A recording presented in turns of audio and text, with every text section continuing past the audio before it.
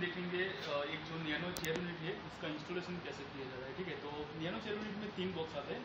ये एक सबसे बड़ा ये वाला आएगा, और इसमें ये वाला लास्ट में टूल्स वाला। तो अभी हम पहले बॉक्स में देखेंगे कि इसका डिस्क्रिप्शन यहाँ पे दिया है। तो यहाँ इस बॉक्स में आता है चेयर फुटरेस्ट पूल और प्लेट ठीक है? तो बड़े बॉक्स में ये इतना आइटम आएगा यहाँ पे। अब देखते हैं दूसरे बॉक्स में।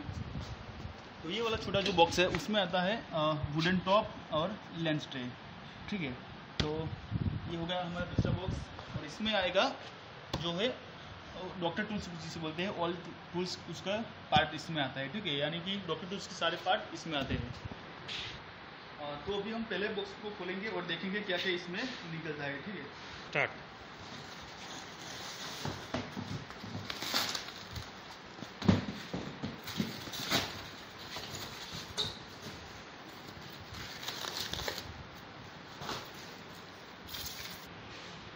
अभी हमने बॉक्स खोल दिया है, ठीक है? तो अभी इसमें बॉक्स में से निकला है ये वाला टोटली प्लेट वाला, ये वाला हिस्सा।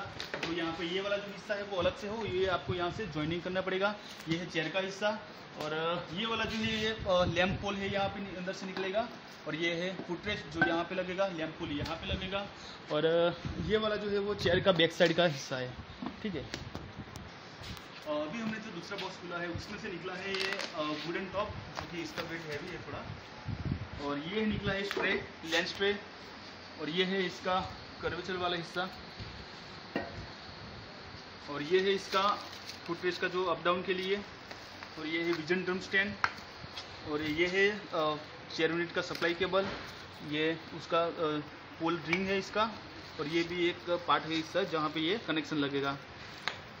और ये वाला इसमें एक कंपस बॉक्स निकला है। इसमें से निकला है ये स्क्रू ड्राइवर और कुछ चैलेंज की स्क्रू फ्यूज ठीक है।